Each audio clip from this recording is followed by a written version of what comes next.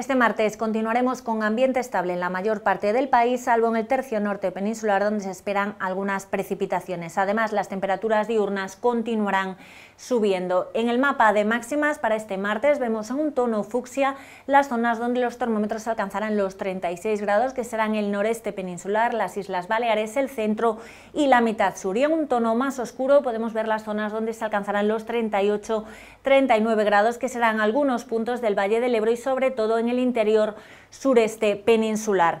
A partir del miércoles las temperaturas bajarán de manera generalizada, tan solo se mantendrá el calor intenso en el extremo sureste peninsular. Y en el mapa de superficie podemos ver cómo una baja relativa continúa sobre la península y seguirá favoreciendo la formación de nubes de evolución que podrían dejar tormentas en el Pirineo catalán y en la Ibérica. Además, la cola de un frente ya muy desgastado atravesará el extremo norte peninsular de oeste a este, dejando a su paso nubes, precipitaciones y también un descenso de las temperaturas. El martes por la mañana amaneceremos con nubes bajas matinales en el extremo occidental de la península y también en el entorno del País Vasco. Además, ese frente dejará ya algo de nubosidad en Galicia y en el Cantábrico más occidental. En el resto de la península, Ceuta, Melilla y las Islas Baleares, cielos prácticamente despejados. En cuanto al viento, soplará del oeste en el Cantábrico, tendremos viento del sur en el área mediterránea, salvo en el área del Estrecho y el mar de Alborán, donde soplará viento de poniente. En Canarias, los alisios dejarán algunos intervalos nubosos al norte de las islas que podrían dejar alguna precipitación en las de mayor relieve y ya el martes por la tarde ese frente irá avanzando hacia el este y dejará ya precipitaciones en Galicia, en el Cantábrico más occidental, que al final de la tarde podrían extenderse al Cantábrico oriental y al norte de Navarra.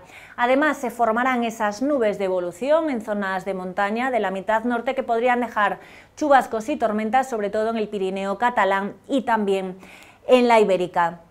Y en cuanto a las temperaturas, las nocturnas subirán en Galicia y bajarán en Sevilla y en Cádiz. Además, volveremos a tener una noche tropical en la que los termómetros no bajarán de los 20-22 grados en la vertiente mediterránea. Destacamos esta mínima de 25 en Melilla, 24 en Barcelona o 23 en Valencia. Las máximas subirán en la comunidad valenciana, en la región de Murcia y también en las costas mediterráneas de Andalucía y en cambio bajarán en Galicia y en el interior noroeste. Los valores más altos los encontraremos en el Valle del Ebro con estos 39 grados de máxima en Zaragoza y también en el interior sureste. Alcanzaremos 38 en Albacete y 37 en Jaén y en Sevilla. Y en las Islas Canarias las máximas se mantendrán con pocos cambios. En Santa Cruz de Tenerife alcanzaremos los 29 grados. Y esto es todo. Si desean más información pueden consultar nuestra página web.